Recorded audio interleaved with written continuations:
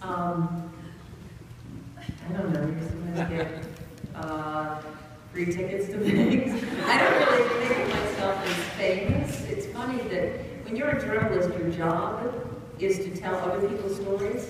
When it's, it's not a good thing when you become the story. A good journalist really is all about, um, making the person they're interviewing shine. And that, that's what you're trying to give somebody else a voice.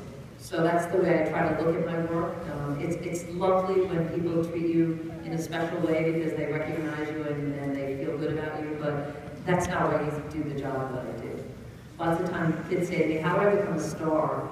And don't worry about, you are already stars. It's about living the life you want to live. And that's what matters. Thank you, very much.